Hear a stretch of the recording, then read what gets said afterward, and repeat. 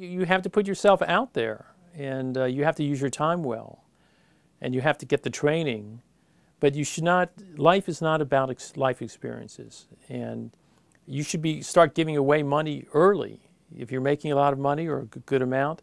Because you, you know, for, for salvation, we need the sacraments, we need prayer, and we also need to give alms. It's, one, it's necessary, an obligation for people to give out of their abundance. So therefore, a person preparing for marriage should have that as really said one of the things that should be talked about in terms of finances beforehand. Because as you know, a lot of the data shows that an awful lot of the problems of, of divorce come from financial disagreements, which is an incredible thing, at least to our mind. But it is. Something went wrong, and people, I, I want this, you want this. And that life is, is not about uh, economic accumulation or successes. It's about gift in, in every aspect.